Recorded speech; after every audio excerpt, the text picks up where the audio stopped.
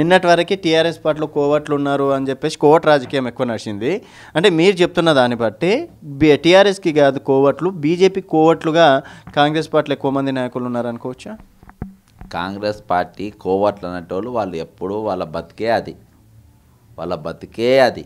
అర్థమైందా? ఓ ఇరవై ముప్పై మంది పెట్టుకుంటారు. వీళ్ళు మేము నేనే లీడర్ అని చెప్పి చెప్పించుకునే ప్రయత్నాలు చేస్తూ ఉంటారు సోషల్ మీడియాలో ఆడ ఈడ కానీ ఇటువంటి తప్పుడుకి ఇప్పుడు దీనికి జవాబు చెప్పాలి కదా. ఇది నాకు పేరు ప్రూఫ్ అన్ని దొరికినాయి. నేను కంప్లైంట్ ఇస్తా. రేపు బట్టలు ఇప్పి గాంధీ భవన్ దగ్గర దంతారు. అర్థమైందా? నువ్వు ఇష్టం వచ్చినట్టు చేసుకుంటా పోతా ఉంటే కాంగ్రెస్ పార్టీలో మీరు ఉండి కాంగ్రెస్ పార్టీలో మీకు బాధ్యతలు ఇచ్చి కాంగ్రెస్ పార్టీ నడుపని చెప్తే ఇదా మీరు చేసేది? బీజేపీకో.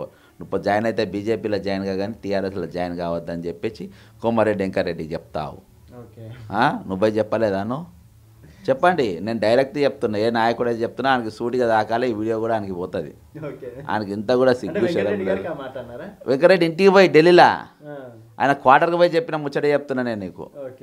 నాకు గాలికి వచ్చినది సమాచారం కాదు. చాలా నాకు కాన్ఫిడెన్షియల్గా ఉంటుంది నాకు తెలుసు కదా నాకు గవర్నమెంటే బయటికి ఉంచుతాయి లైగర్ గుంస్తే గిలగిలలాడుతుంది కవిత. ఇసోని నాకు తెలివయా? ఇది కన్ఫామ్గా చెప్తున్నా. అంటే ఎంత ఘోరం అంటే నాకు ఈ పొద్దుగాలకెళ్ళి తెలిసిన కదా నాకు బాధ అనిపిస్తారే నీ అమ్మ ఇదేంది బీజేపీలో పొమ్మని చెప్పుడేంది అంటే వీడు టీఆర్ఎస్లో సపోర్ట్ చేస్తాడా? బీజేపీలో సపోర్ట్ చేస్తాడా? ఎవరికి ఒక దిక్కు మేము కంప్లైంట్లు ఇచ్చుకుంటా కొట్లాడుకుంటా ప్రాణాలు మేము దానిపైన పెట్టి దావ మీద పెట్టి మేము కొట్లాడుతూ ఉన్నాం. మాకెంత ఇప్పుడు జ- నీకు తెలుసు కదా మేము వేసిన కేసులు కానీ ఇవి కానీ మాకు ఎన్ని మాకు ప్రాణాపాయాలు లేవా మాకు? మేము ఎప్పుడన్నా మాట్లాడినామా? మాకు ఎవరు సపోర్ట్ లేకుండా మేము కొట్లాడుతున్నాం కదా. మరి మీకేం మీకు పదవులు ఇచ్చే అన్ని ఇచ్చే కార్యాలయాలు ఇచ్చే కొట్లాడమని చెప్తే మీరు పోయి టీఆర్ఎస్ కాదు బీజేపీ పోమని చెప్తారు. అయితే ఇప్పుడు మరి కాంగ్రెస్ పార్టీ కూడా అంటే రేవంత్ రెడ్డి గారు పీసీసీ అధ్యక్షుడు అయినప్పటి నుంచి దళిత దండోరా సభలు కానీ జంక్ని సైరన్ కానీ తర్వాత మూడు చింతలపల్లిలో కూడా అక్కడ కూడా ఒక సభ పెట్టడం కానీ తర్వాత రాహుల్ గాంధీ జోడో యాత్ర కూడా అంత ప్రతిష్టాత్మకంగా తీసుకొని పన్నెండు పదమూడు రోజులు కూడా సక్సెస్ చేయడం కానీ మళ్ళీ అట్లాంటి వాళ్ళు అయితే ఈ ఇన్ని కార్యక్రమాలు కాంగ్రెస్ పార్టీ విజయవంతం చేయదు కదా సార్? అవి చేస్తుండ్రు. కార్యక్రమాలు విజయవంతం అవుతలేవు అంటలేం. కార్యపంత విజయవంతం అవుతున్నాయి చాలా బాగా చేస్తున్నాయి అందులో డౌట్ లేదు. కార్యక్రమాలు జరుగుతున్నాయి. కానీ జాయినింగ్లో ఆపాల్సిన అవసరం కూడా ఉంది మన మీద. ఓకే. పార్టీలో పోయేటోళ్ళం పోకుండా ఆపగలి ఆపగలిగే శక్తి మనకు ఉండాలి కార్యకర్తలు నిరుత్సాహపడకుండా ఉండే అవకాశం కూడా మనకు ఉండాలి అంటే సరే అది ఆయన వర్క్ చేస్తుండు ఆయన ఇమేజ్ పెంచింది. రాహుల్ గాంధీ పాదయాత్ర అంటే ఆయన భారతదేశంలో ఎక్కడ పోయినా సక్సెస్ అవుతాను అది ఇదేం కాదు. ఇంతకంటే బాగా జరుగుతుంది అది మహారాష్ట్రలో ఇంతకంటే గొప్పగా అయినాయి. ఆడ మీకు పక్కన నిలబడ్డ వాళ్ళు మళ్ళీ నిలబడతారు. కొత్త కొత్త వాళ్ళు వస్తుండ్రు. కొత్త కొత్త మీ మహారాష్ట్ర పక్కన ఉన్న నాయకులు. ఇక్కడ ముగ్గురు నలుగురు నాయకులే రాహుల్ గాంధీ ఎంట్రీకి వెళ్ళి నడిచేదాకా వాళ్ళే ఉన్నారు. అక్కడ అట్లా కాదు. ఒక పీసీసీ అధ్యక్ష తర్వాత ప్రతిరోజు మళ్ళీ కొత్త నాయకులు వచ్చి వాళ్ళు నడుచుడు. అంటే డిఫరెంట్గా నడుస్తూ అంటే ఒక్కొక్క స్టేట్లో ఒక్కొక్క తీరుగా ఉంటే మన స్టేట్లో సరే ఏమున్నా రాహుల్ గాంధీ ఇమేజ్ వేరు. దానికి భారత్ జోడో యాత్రకు అది ఎట్లైనా సక్సెస్ కావాల్సిందే అయిపోతుంది. ఎవరు కాకుండా ఒకరు తీసుకుంటారు. కానీ ఆ స్టేట్ లెవెల్లో కాంగ్రెస్ పార్టీ కార్యకర్తలు మన programs one day match two ఏ మ్యాచ్ వేస్ట్ అది అదొకటి. కానీ ఒక ఉద్యమం అనేది దీర్ఘకాలికంగా ఎన్నికల వరకు జరగాల్సిన అవసరం ఉన్నది.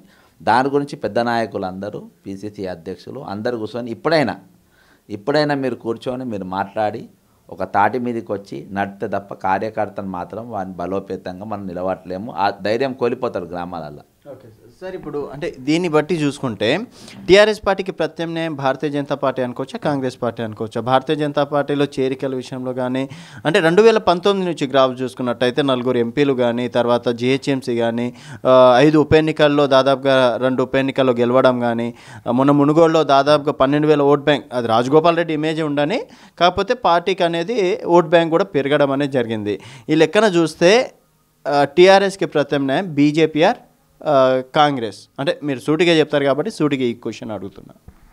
ప్రత్యామ్నాయం హండ్రెడ్ పర్సెంట్ టీఆర్ఎస్ వర్సెస్ కాంగ్రెసే నడుస్తుంది రేపటి దినాన.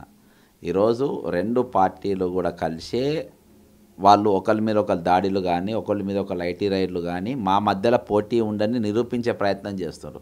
అలా నాయకులు చేరుతుండ్రు. ఇప్పుడు సనత్ నగర్కి వెళ్ళి పెద్ద నాయకుడు సరే రాష్ట్ర నాయకుడు శ్రీధర్ రెడ్డి గారు చేరుతున్నారు సనత్ నగర్కి వెళ్ళి ఎవరైనా క్యాడర్ జాయిన్ అవుతారా? కారు. మీకు ఎక్కడ పోయినా నాయకులు చేరుతారు? కార్యకర్తలు గారు అక్కడ. ఇలా పెద్ద పెద్ద నాయకులు కూడా గెలిచే పరిస్థితులు అక్కడ లేవు.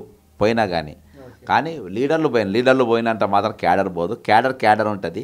ఆడ ఓ ఏది పోలింగ్ బూత్ కాడ కానీ అక్కడ కానీ నిలబడి కొట్లాడేది వాళ్ళే.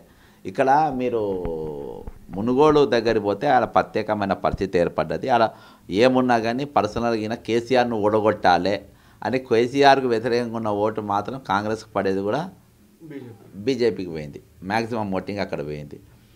హైదరాబాద్ ఎలక్షన్స్కి వస్తే ఏంటంటే వీడు గెలిస్తే మేము కేసీఆర్ని ఓడగొట్టాలి. కాంగ్రెస్ వాడు ఓటేస్తే గెలుస్తాడు. గెలిచి మళ్ళీ టీఆర్ఎస్లో జాయిన్ అవుతాడు. కాబట్టి ఇక్కడ మేము ఓటు బీజేపీకి వేద్దాం వేద్దామనే ఉద్దేశంతో వేసింది ఇక్కడ ఒకటి జరిగింది. కానీ రేపటి దినాన బీజేపీ టీఆర్ఎస్ ఒకటనేది జనంలోకి వెళ్ళిపోయింది. వెళ్ళిపోతుంది ఇంకా ఫ్యూచర్లో. అప్పుడు ఖచ్చితంగా కాంగ్రెస్ వర్సెస్ వాళ్ళ మధ్యలోనే ఉంటుంది. అది మేము పంప మేము తీసుకుపోతాం అది. కార్యకర్తలుగా మేము వీళ్ళిద్దరు ఒకటే అనేది నిరూపించి ఆల్రెడీ మేము తీసుకుపోతా ఉన్నాం మేము తీసుకుపోగలం మేము తీసుకుపోగలుగుతాం. కానీ నాయకులు కూడా వచ్చి మాట్లాడితే ఇంకా స్ట్రాంగ్ ఉంటుంది ఇది.